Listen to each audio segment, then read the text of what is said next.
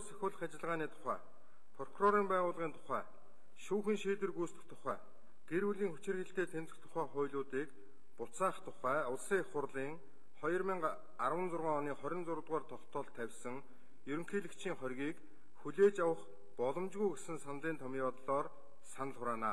За санал хураалт. Хүлээж авах боломжгүй гэсэн саналын томьёо бодлоор санал хураалт. Санал хураалт явагдаж байна.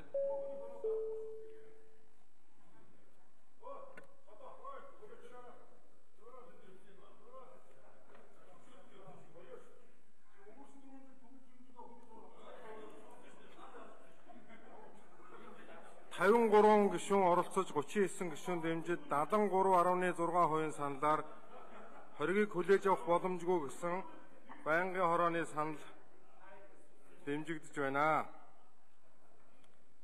За улсын хурал ерөнхийлөгчийн хоргийг хүлээж авах боломжгүй гэсэн ийм шийдвэрийг гаргалаа. Би тогтоол эцсийн хариулгыг та бүхнээс авъя.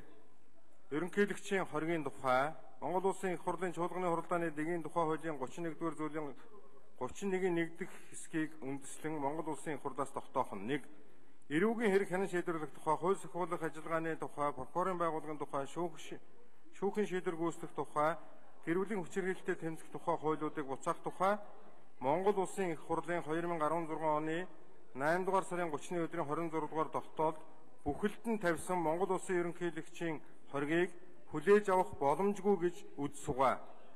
За эцсийн хариулга дээр саналтай гишүүн байна уу?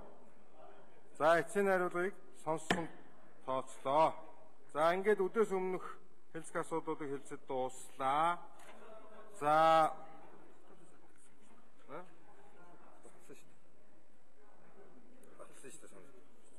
За ингээд эцсийн найруулга сонслоо. Тогтоол батлагдлаа. За төрийн байгуулалт төсөв хууль зүйн байнгын хороод одоо хуралд нь нэг зарлал байна гэх шүү дээ. Улсын хурлын эрхэм гишүүдээ Улс төрийн хэл сэрэг телевизийн дурсгалыг хүндэтгэх өдөр 9 дугаар сарын 10-ны өдрийн Бямб гарагийн 12 цагт төрийн ордны дэргэдэх хэлмэгдэсний өшөөнд цэцэг өргөх ёсолд оролцохыг урьж байна гэж төрийн ёслолын албанаас зарлал хөргүүлж байна.